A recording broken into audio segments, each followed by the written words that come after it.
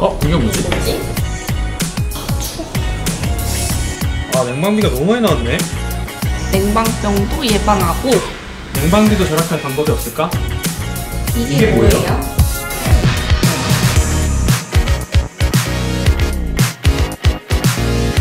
목에 걸기만 하면 일정한 온도로 체온을 유지시켜주는 얼음 목걸이 쿨링 튜브입니다. 찬물에 담가두었다가 꺼내면 최대 90분 동안 시원한 26도를 유지합니다. 시원한 바람이 부는 상온에 두거나 냉동실 또는 차가운 물에 넣어두었다가 목에 걸어만 주세요. 물에 살짝 젖은 상태로 사용하면 더 시원함을 느낄 수 있습니다. 자극적이지 않고 은은한 시원함. 가볍고 편안한 착용감.